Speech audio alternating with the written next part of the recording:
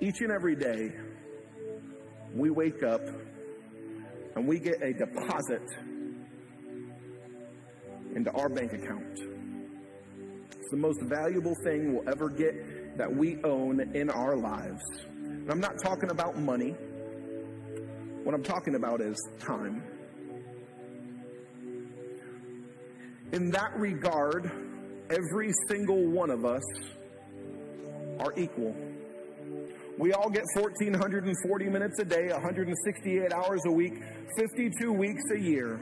Doesn't matter if you were black and white. It doesn't matter if you were rich or poor. It doesn't matter if you were well educated or uneducated. It doesn't matter what car you drive or what house you grew up in or what job that you do. In the eyes of time, we all get the same amount. Every single day. And no matter whether you think Jesus Christ is the Savior of the world or he was some weird dude that wrote a book that everybody likes to read and sing songs about, he proved this that it's not the quantity of time that you get in your life that matters, but it's the quality of how you invest it. Because a man who was born this season that we celebrate lived 33 years, and 2,000 years later, we still sing and we still celebrate and we still meet every single week to praise his name. And so, my question for you guys today as we get ready to walk out of here is not how you're going to celebrate Christmas. It's not what are you going to do later today for lunch. It's not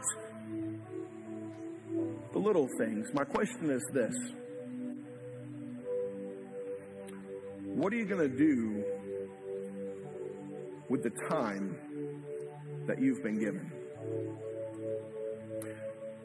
See, one reason I think God chose to appear to the shepherds is they realized the value of doing the right thing at the right time. We see it in this story right here. When the angels told them about Jesus, they didn't form a committee and talk about it. They didn't debate about it. They didn't say, oh, wow, that's amazing, and then go on about their day saying, tomorrow I'll get to that.